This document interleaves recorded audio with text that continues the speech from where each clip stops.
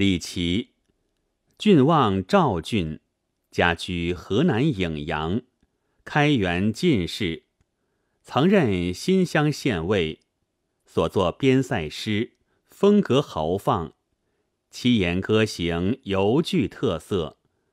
寄赠友人之作，刻画人物形貌神情颇为生动，有《李琦诗集》，古从军行。李琦，白日登山望烽火，黄昏饮马傍交河。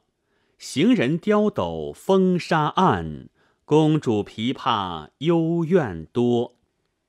野云万里无城郭，雨雪纷纷连大漠。胡雁哀鸣夜夜飞，胡儿眼泪双双落。闻道玉门犹被遮，应将性命逐轻车。年年战鼓埋荒外，空见葡萄入汉家。《从军行》是乐府古题，此诗写当代之事，由于怕触犯忌讳，所以题目加上一个“古”字。他对当代帝王的好大喜功、穷兵黩武，使人民生命如草芥的行径加以讽刺，悲多于壮。使开首先写紧张的从军生活。白天爬上山去观望四方有无举烽火的边景，黄昏时候又到交河边上让马饮水。交河在今新疆吐鲁番西面，这里借指边疆上的河流。三四句的刁斗是古代军中铜制炊具，容量一斗，白天用以煮饭。晚上敲击代替羹拓，公主琵琶指汉朝公主远嫁乌孙国时所弹的琵琶曲调。当然，这不会是欢乐之歌，而只是哀怨之调。一二句写白日黄昏的情况，那么夜晚又如何呢？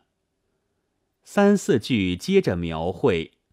风沙弥漫，一片漆黑，只听得见军营中巡夜的打更声和那如泣如诉的幽怨的琵琶声，景象是多么肃穆而凄凉。行人是指出征将士，这样就与下一句的公主出塞之声引起共鸣了。接着。诗人又着意渲染边陲的环境，军营所在四顾荒野，无城郭可依。万里极言其辽阔，雨雪纷纷，以至与大漠相连，其凄冷酷寒的情状亦可想见。以上六句写尽了从军生活的艰苦。接下来。似乎应该正面点出行人的哀怨之感了，可是诗人却别具机注，背面覆粉，写出了“胡雁哀鸣夜夜飞，胡儿眼泪双双落”两句。胡雁、胡儿都是土生土长的，尚且哀啼落泪，何况远戍到此的行人呢？两个“胡”字。有意重复，夜夜双双有有意叠字，有着轰云托月的艺术力量。面对这样恶劣的环境，谁不想班师复原呢？可是办不到。闻道玉门犹被遮一句，比一折，似当头一棒，打断了行人思归之念。据《史记·大渊传》记载，汉武帝太初元年，汉军攻大渊，攻战不利，请求罢兵。汉武帝闻之大怒，派人遮断玉门关，下令：君有敢入者，者斩之；这里暗刺当朝皇帝一意孤行，穷兵黩武。随后，诗人又押一句：“罢兵不能，应将性命逐轻车。”只有跟着本部的将领轻车将军去与敌人拼命。这一句其分量压倒了上面八句，下面一句再接再厉。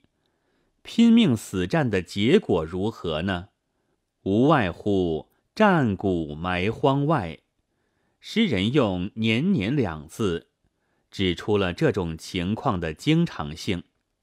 全诗一步紧一步，由军中平时生活到战时紧急情况。最后说到死，为的是什么？这十一句的压力，逼出最后一句的答案：空见葡萄入汉家。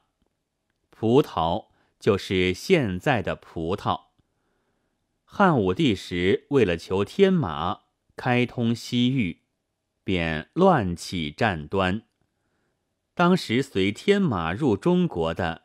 还有葡萄和苜蓿的种子，汉武帝把它们种在离宫别馆之旁，迷望皆是。这里空见葡萄入汉家一句，用词典故，讽刺好大喜功的帝王牺牲了无数人的性命，换到的是什么呢？只有区区的葡萄而已。言外之意。